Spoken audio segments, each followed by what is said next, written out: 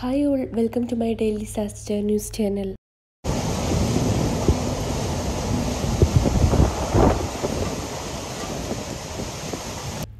The information in this video shows an incident on 18 September 2022 Kyushu, Japan.